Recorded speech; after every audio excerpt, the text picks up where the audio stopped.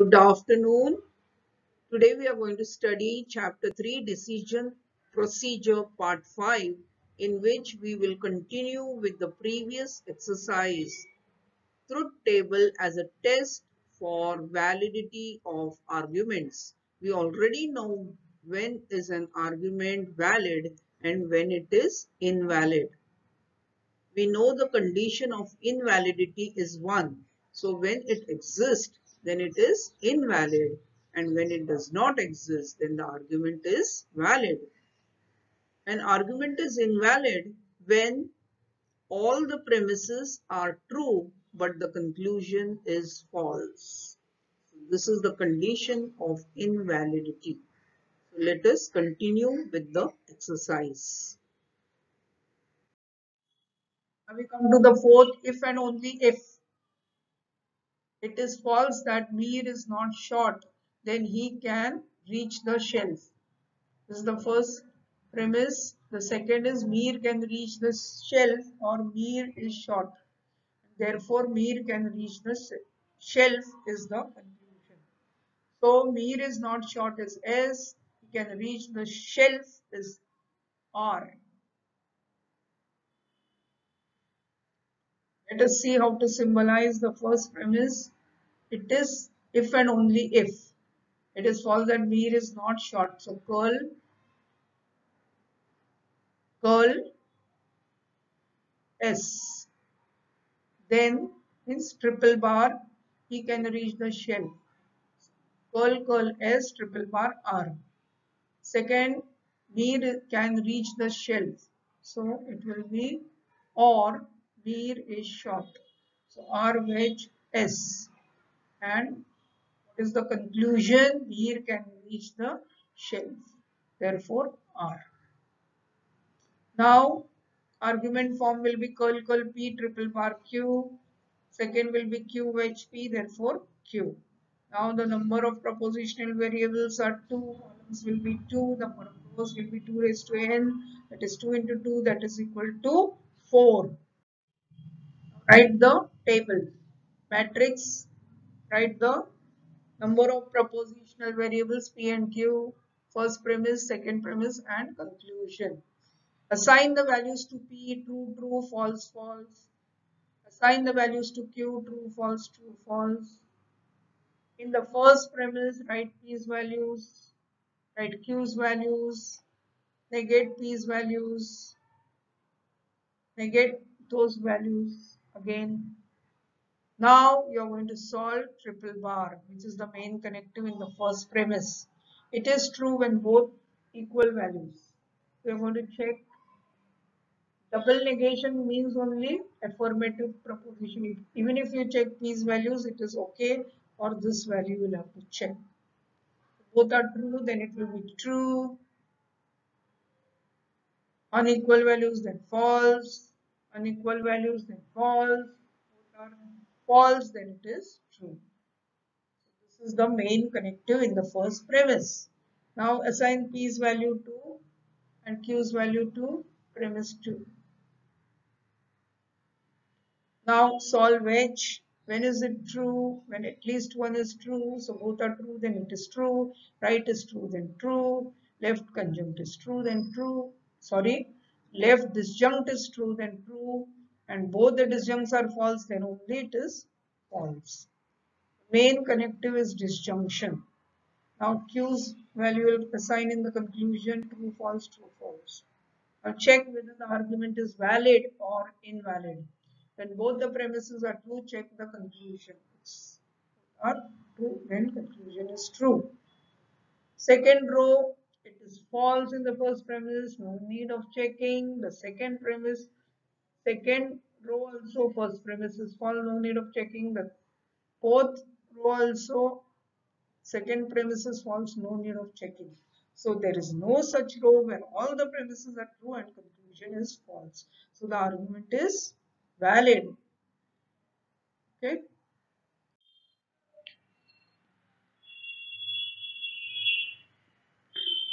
The girl is beautiful but not smart is the first premise. If and only if the girl is smart, then she can win the beauty contest. is the second premise. Therefore, the girl cannot win the beauty contest is the conclusion.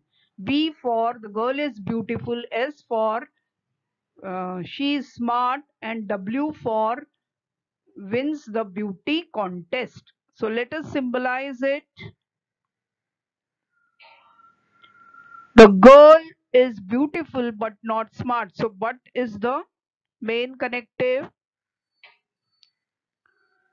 And not is the second connective is the conjunctive. The second conjunct has not in it. So it will be symbolic form will be b dot curl s. Second premise if and only if then is the main connective. So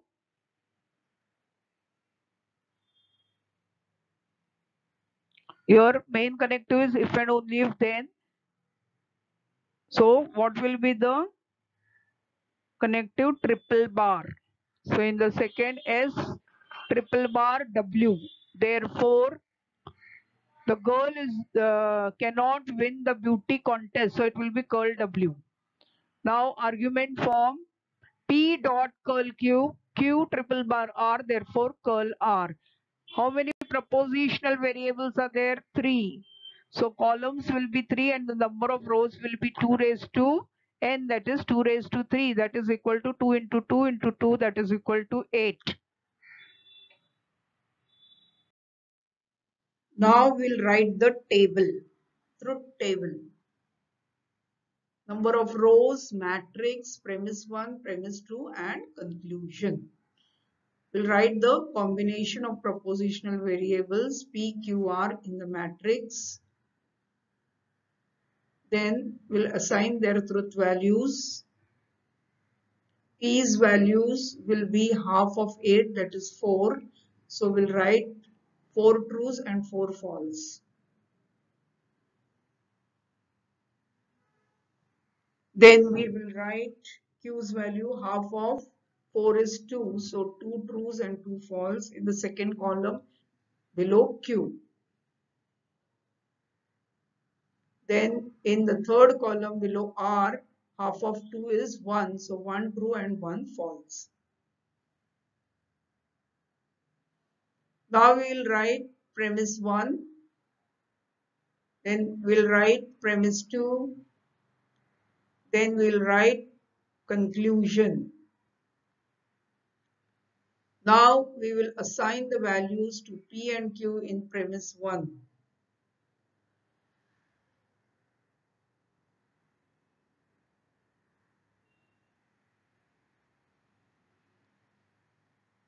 Now Q's value we have assigned. And now we will negate Q's value.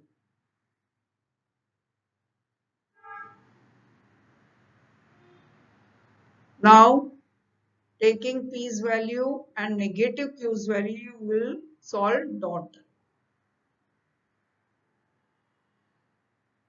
Dot is true or conjunction is true when both the conjuncts are true and it is false when at least one is false. So right side false, so false, right side false, so false, right, both are true, then true, both are true, then true, both are false, then false, both are false, then false. One is false, also it will be false. Now, second premise, we will assign the values of Q and R.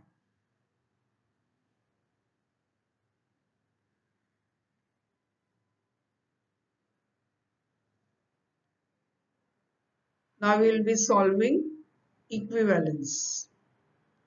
When is it true and when is it false? When both the components have equal truth values, then it is true. And when they have unequal truth values, then it is false. So we will assign their values. Both are true, then it is true any one's uh, one is true and the other is false then false. One is false and other is true then false. Both are false then it is true. Both are true then it is true. Uh, unequal values then false, unequal values then false, then both are false then true. Now we'll assign the values to R true false. Now we will negate, then we will negate the r's values.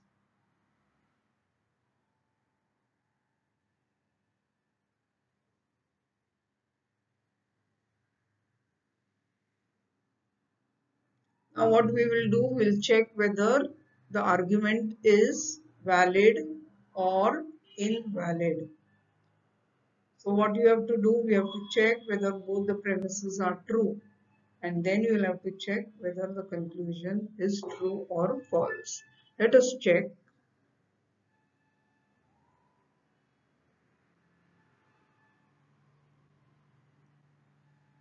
In the first premise, it is false, so no need of checking.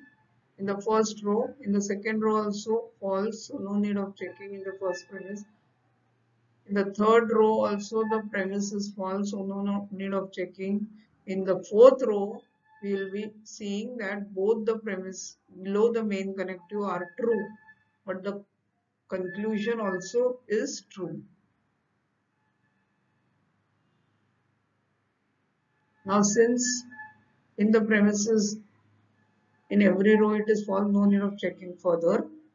Since we did not find any invalidity condition, so the argument is valid. There is no such row where all the premises are true and the conclusion is false. Now let us take the sixth example Logic is a science of reasoning is the first premise. Either logic is a science of reasoning or not a science of reasoning is the second premise. Therefore, logic is not a science of reasoning is the conclusion. S for logic is a science of reasoning. Let us solve. Symbolize it. The first premise, logic is a science of reasoning. S. The second premise, logic is a science of reasoning or not a science of reasoning. So S either or is the main connector and not is the for the second disjunct. So it will be S wedge curl S. Therefore, logic is not a science of reasoning will be curl S. Now we will have an argument form P Second premise P wedge curl P, therefore curl P. How many propositional variables are there in this given expression? Only one. Number of columns will be 1 and the number of rows will be 2 raised to n that is 2 is raised to 1 that is 2. Let us write the matrix now. Number of rows matrix 1 uh, matrix sorry premise 1 premise 2 and conclusion there will be only P in the matrix. The truth values will be true and false. Then premise 1, premise 2 and conclusion. We'll assign the values half of 2 is 1. So 1, 2 and 1. Now in the premise 1 we assign the values of P which will be the main connector. Then in the premise 2 we will assign the values to P. Now we will negate the values of P. False true. Now we'll solve disjunction.